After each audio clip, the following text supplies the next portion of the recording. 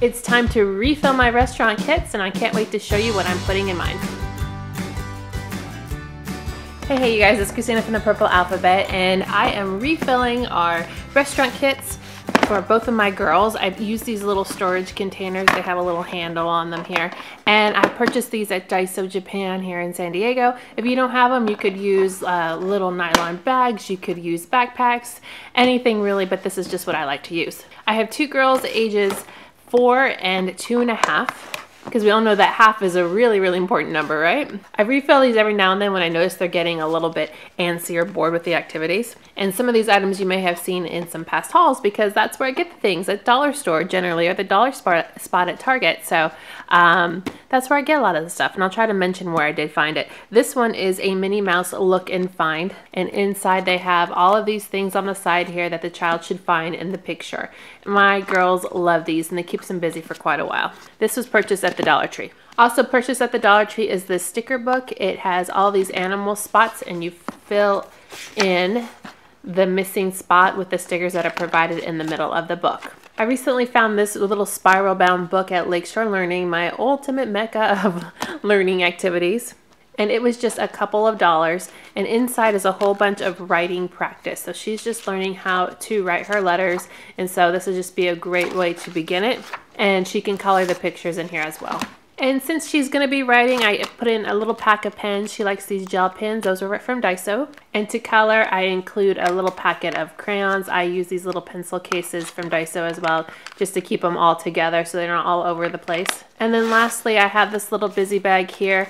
Um, these were purchased from Target Dollar Spot, I'd say maybe a few months ago and they're little picture cards and since she's learning beginning sounds and phonics all she has to do is determine which letter is the beginning sound and take the clothespin and clip it right on. And so this one is nice because it only has one clothespin and a whole bunch of cards and that way I don't have to deal with you know all kinds of materials floating all over the table before we eat dinner and then lastly, I like these little blank books. These were purchased from the Target dollar spot. They came in a pack of six and they are just empty books with nothing in them. So they can color on them, they can write, they can draw. And then I also always include just a couple of loose sheets of stickers that I have so they can put stickers on them and use them as sticker books.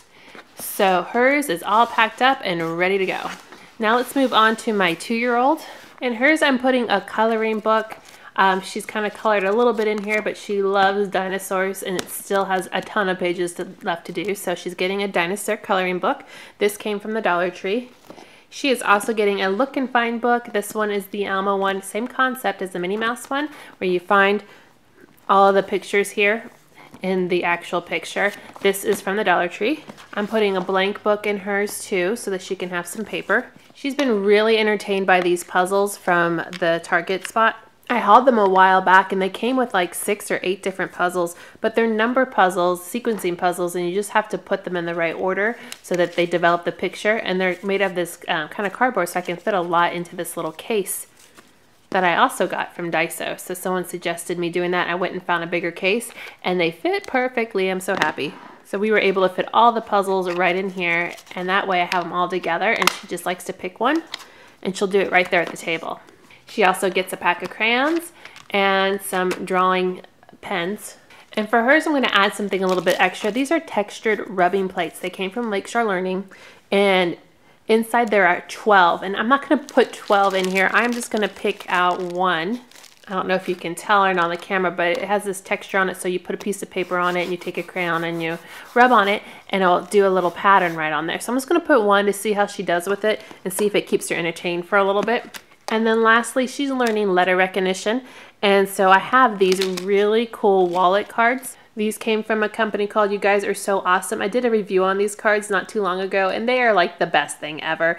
Um, they're made of this really durable plastic that, you know, is, is great for people who are teething, or you know, those little babies that are teething or drooling. But not only that, they have these really gorgeous pictures on them on the front and back. And since she's learning her letters, I thought it'd be really fun to put these in there so we can just do a little review and then talk about the pictures as well.